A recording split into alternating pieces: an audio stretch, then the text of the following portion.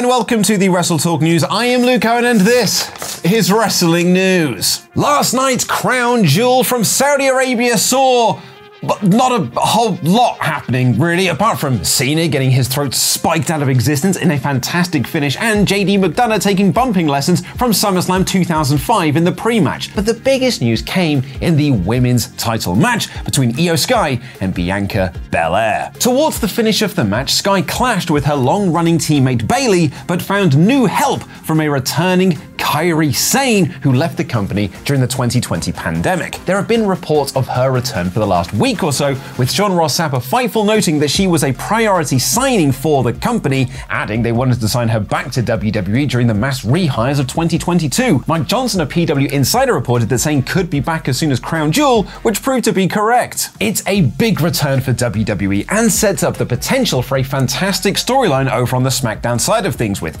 Damage Control and Sane, as well as Bianca Belair and Charlotte Flair, who both have claims to the world title. And let's be honest, SmackDown has really needed this all year long. And reportedly, there are more returns for WWE's women's division in the works. Mike Johnson of PW Insider reported last week that Sarray, who left NXT last year, was in deep negotiations for a United States wrestling return, but not to WWE. Well, Sean Ross Sapp noted on his Crown Jewel post show that WWE are working on bringing Sarray back to the company. In a separate report, Fightful confirmed Kermit's Reddit post that more names could join the two in a new group, who are being described as close friends and stars no one will see coming. Now, if you'll indulge me, I would like to take a slight detour into Speculation Station, because Dave Meltzer wrote in the most recent Wrestling Observer newsletter that there are currently no dates scheduled for Mercedes Moné with New Japan or Stardom. Moné suffered an ankle injury back in May when she was supposed to win the NJPW Strong Women's Championship, a belt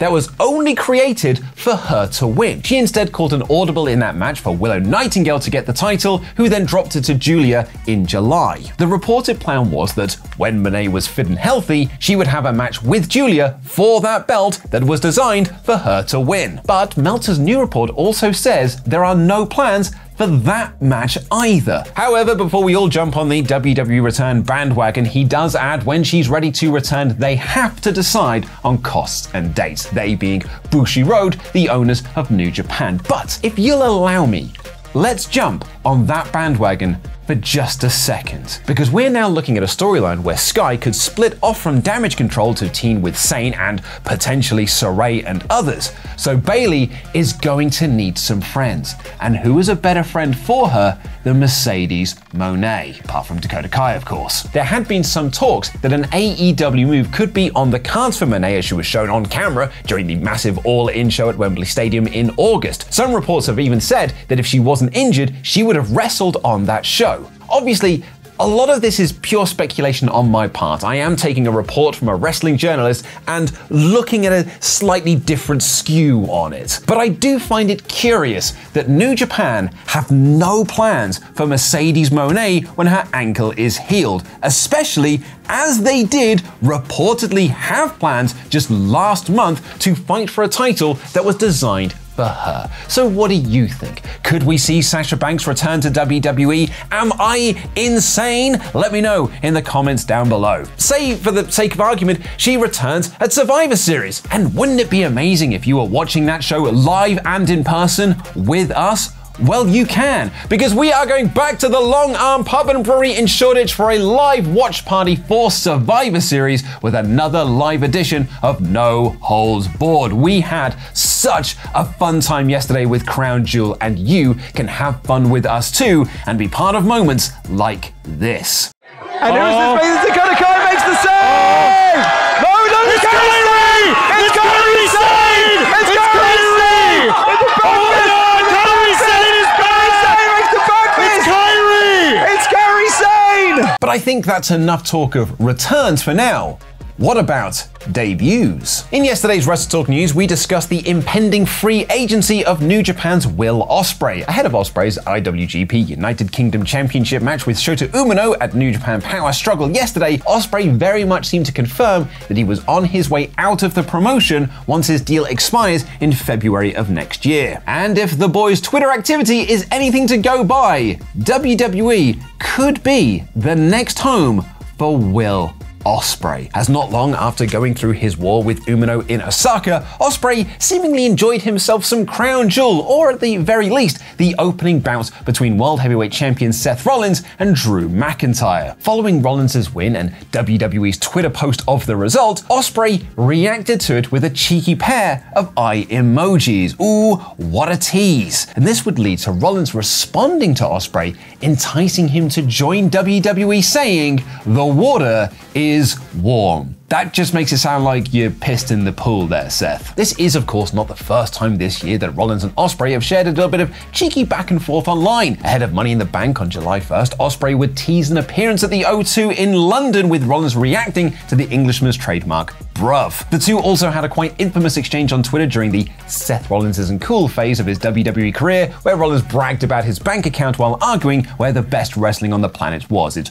was not WWE at that point. On Wrestling Observer Radio, Dave Meltzer noted that matches with Rollins and AJ Styles could be a selling point for Ospreay to move to WWE, adding that WWE are absolutely in the picture for Ospreay's destination. There is also, of course, All Elite Wrestling in all of this. The company has clearly been laying out the red carpet for Ospreay throughout the year, not only having him on TV and on pay per view in prominent roles, but also giving him the most massivest of platforms possible with a featured match at All In. However, Ospreay has had his own joking issues with AEW after getting a tattoo of the number of tickets sold for All In, and then the conflicting numbers coming out from the local councils about what the actual attendance figure was. So who knows where he'll end up. As Meltzer puts it on Wrestling Observer Radio, it will boil down to who is ready to give him the best offer. Another big talking point from Crown Jewel was the utter annihilation of John Cena at the hands of Solo Sikoa in a fashion that can really be compared to SummerSlam 2014 with Cena's match against Brock Lesnar.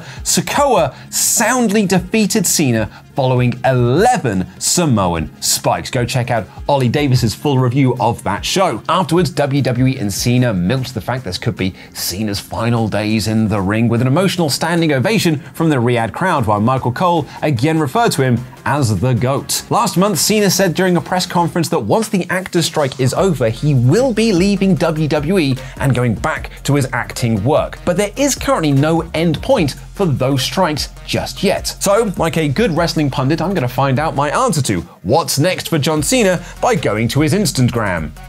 It's um it, it's a picture of of David Beckham. This is the second news story in two days where I've talked about ex Man United players. It's weird, isn't it? While this could be seen as typical Cena randomness, some have theorized that it could be a suggestion that Cena's next appearance will be in Paris, which is the rumored destination of next year's Backlash, as the image is of Beckham playing for Paris Saint Germain. While others have instead suggested that the image is a further teaser of retirement, as the image of Becks was from his final match as a football player. I guess we'll have to wait and see what happens. See. Can't see him. And lastly, on Crown Jewel, while it was a good show and all, one thing that it definitely was missing was some meat slapping action, something Intercontinental Champion Gunther usually can assist with. But the ring general was a surprising omission from the Crown Jewel card, instead headlining another WWE live event in Rochester, New York, where he defended the title against Ricochet and Shinsuke Nakamura. While this isn't overly noteworthy given the absence of other top stars on the show like Becky Lynch and Kevin Owens, it seems as if there is more to this absence than would first appear. In an interview with Krone, Gunther revealed that due to strict residence regulations, he is not able to leave the United States for the next six months. This is the same reason why Rey Fenix couldn't be on All In. This not only affected Gunther's availability for Crown Jewel, but also seemingly rules him out of Elimination Chamber in February, as that will be in Australia. However, fear not for all you German fans, as Gunther will be back and ready and able to travel to Bash at Berlin next August, a show he should absolutely headline against Ilya Dragunov, but that's just me. Thank you all so much for watching this episode of the WrestleTalk News. Go and watch Ollie Davis's full review of Crown Jewel right now. Kairi Sane returned to WWE. Roman Reigns predictably won. And John Cena got squashed. Or should I say, spiked. I'm Ollie Davis, and this is my review of WWE Crown Jewel 2023 in about 10 minutes.